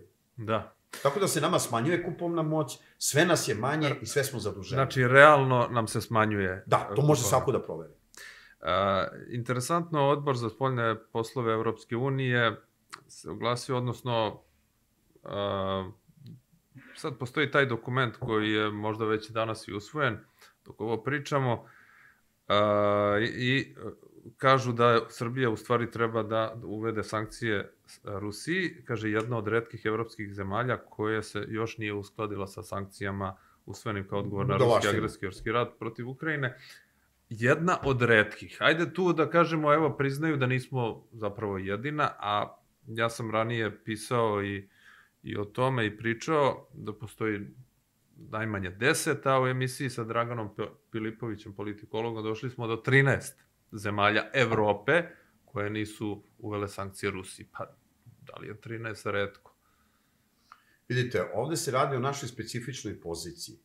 E, ali se mora priznati e, da vlast e, nije uvela sankcije Rusiji i mora se priznati, mora se priznati, da je došlo do izvesnog otopljavanja medija u zadnje dve godine. To je delimično prouzrokovano ratom u Ukrajini i na tu temu se može prilično slobodno diskutovati i meni se sviđa ono što je rekao Teša Tešanović kada je mhm. komparirao medijske slobode u Ukrajini, o, ovaj u Hrvatskoj u Srbiji. Kaže, u Hrvatskoj vi možete kritikovati političare, kako tako, u medijima, ali ne možete ništa reći istinito o situaciji u sukobu u Ukrajini. Dakle, morate da navijate za NATO i Ukrajinu. A kaže, u Srbiji vi možete slobodno, koliko toliko, da govorite o ratu u Ukrajini i o poziciji Rusije, ali ne možete da kritikujete političara.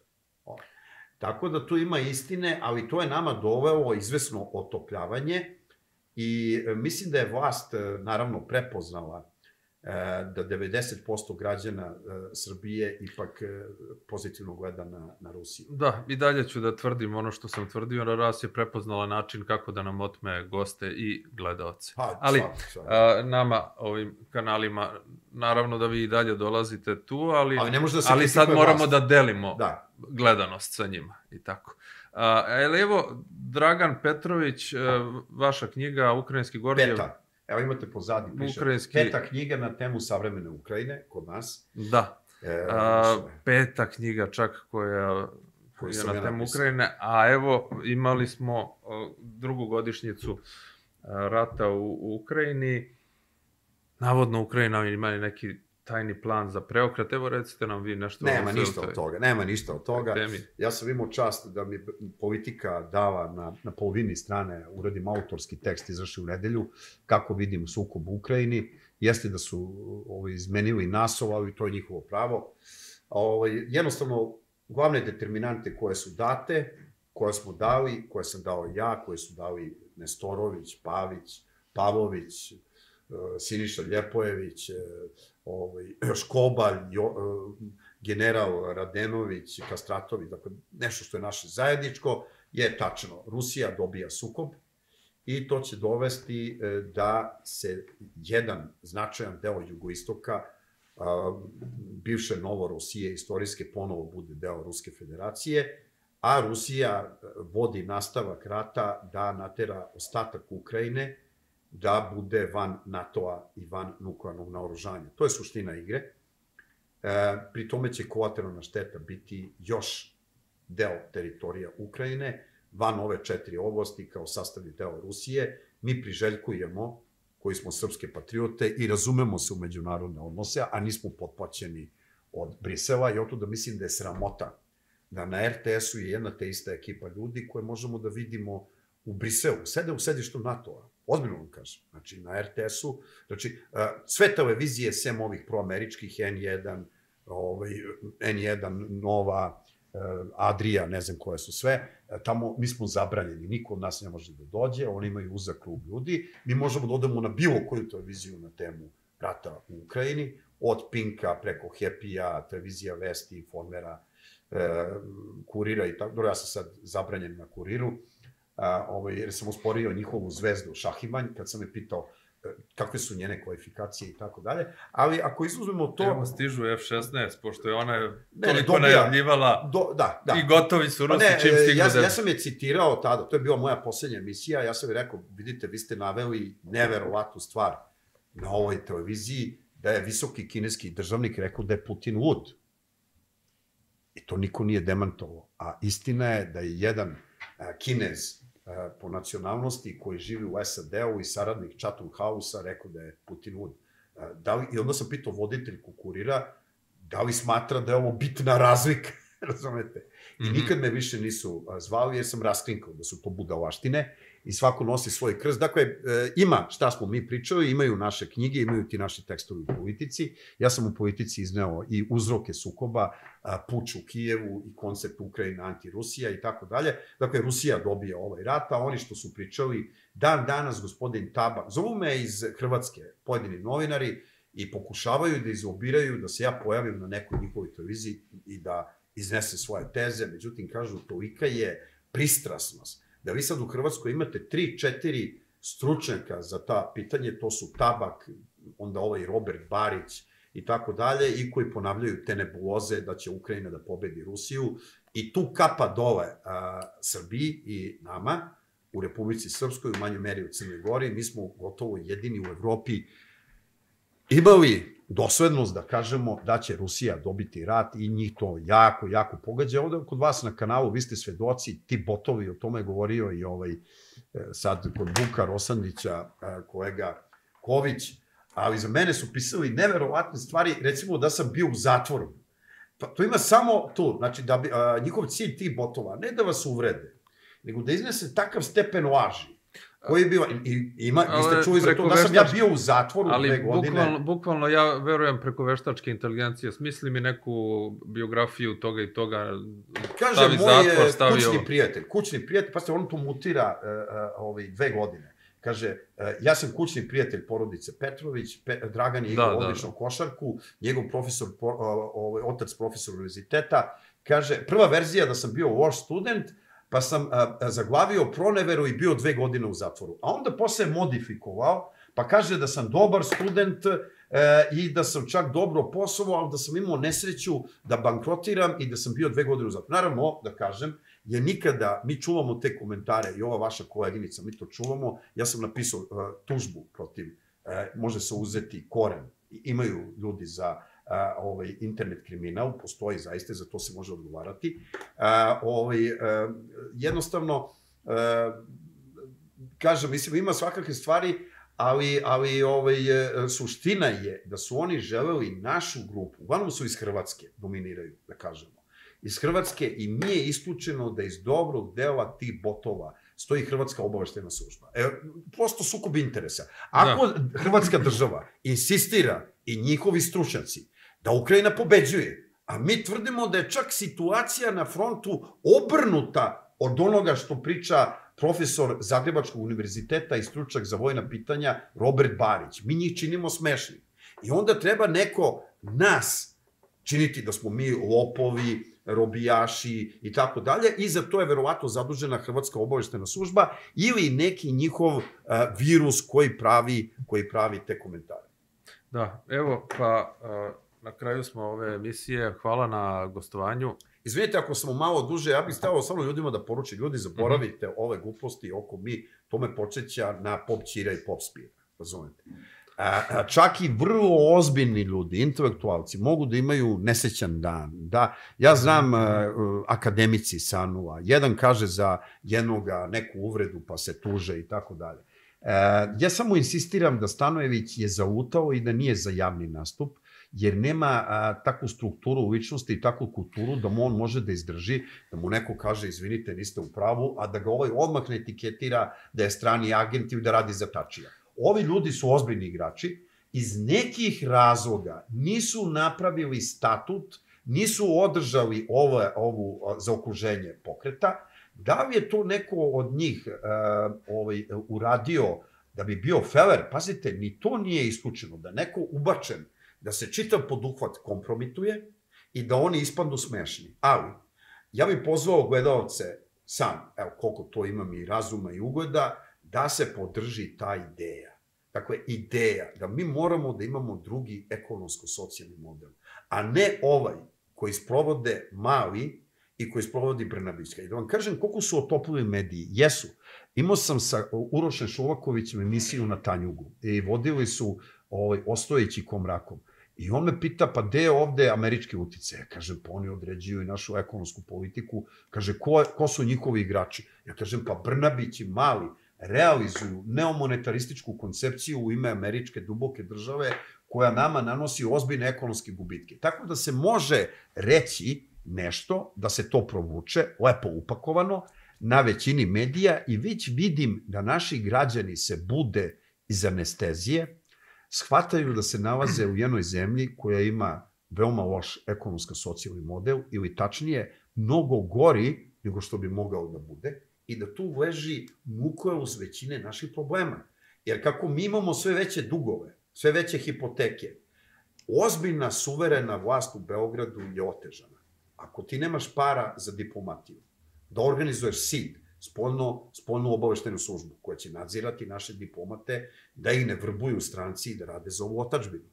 To je jedna stvar. Druga stvar, ako ti nemaš finansijska sredstva da plaćaš oficire i specijalce i oni masovno napuštaju vojsku, džaba ti određena reforma vojske i određena tehnička sredstva, jer ti nemaš dovoljno tenkista, nemaš dovoljno profesionalaca i onda ne možeš da vodiš ni ozbiljnu politiku u vezi naše južne pokrajine. Dakle, to su sve povezane stvari.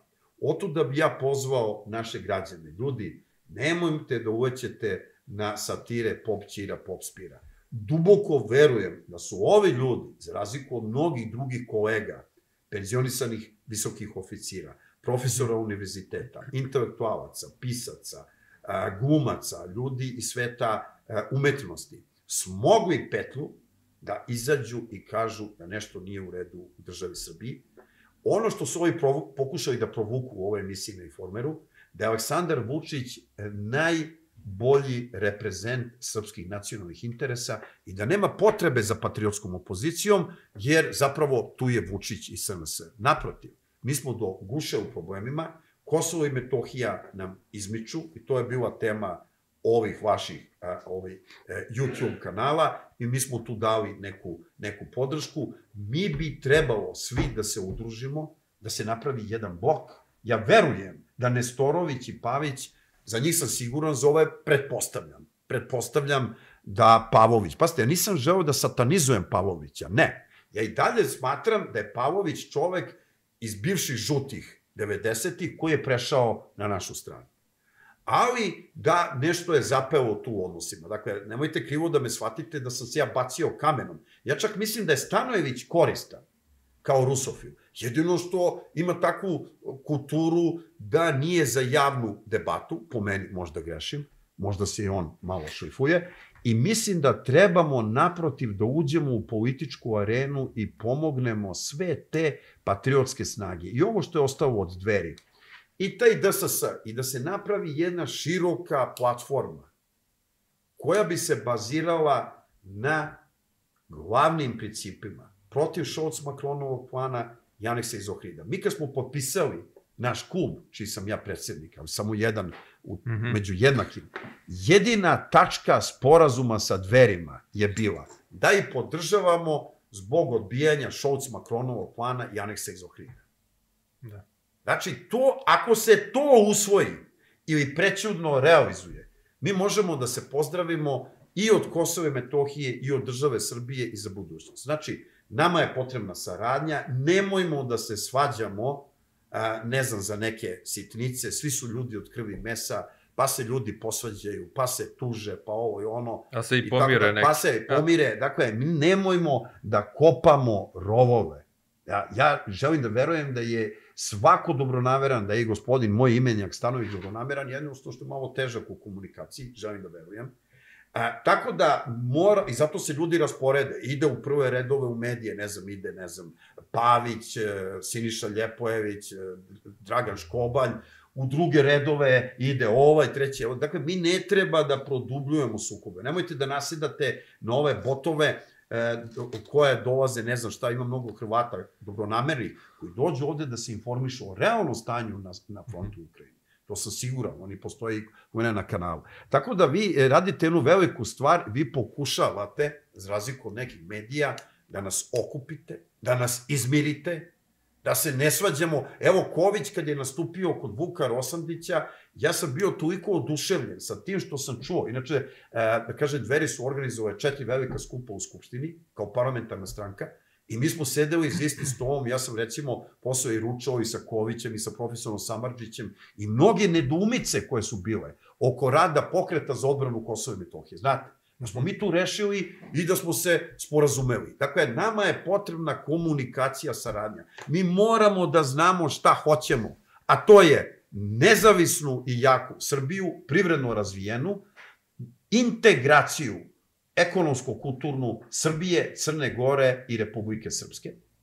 To je ono što je suština i sa izlaskom Rusije na Dunav ili pobedom, figurativno, tako je, izlaskom na Dunav, pobedom u sukobu sa Ukrenom, a to je sukob i sa čitavim NATO-om, a zapravo mi se vraćamo u igru gde su bili naši preci, a naši preci su Nikola Pašić, Nikola Petrović, a, a, a, Petar Karadžorđević, a, ovaj, Mihajlo Obrenović i drugi istaknuti, istaknuti Petar Kočić i drugi istaknuti Srbi. Dakle, mi e, e možemo unutar kuće i da se ne razumemo, ali srpstvo i našu ideju i obavezu prema našim potomcima ne smemo da dovedemo u pitanje ni za šta. I vama hvala kao jednom istaknutom Srbinu sa Kosova i Metohije iz naše južne pokrajine, koji bez obzira na različite teme uvek nam date dodatan motiv da ne zaboravimo naše najvažnije nacionalno i državno pitanje, a to je Kosovo i Metohija.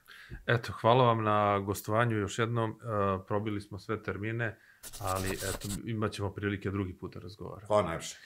A, sa nama je bio Dragan Petrović, ja sam Nikša Bulatović. E, ostanite uz kanal Pravi odgovor. Ko nije zapratio, neka zaprati, a, jer nam to puno znači. Hvala još jednom, gledajte nas i vidimo se uskoro.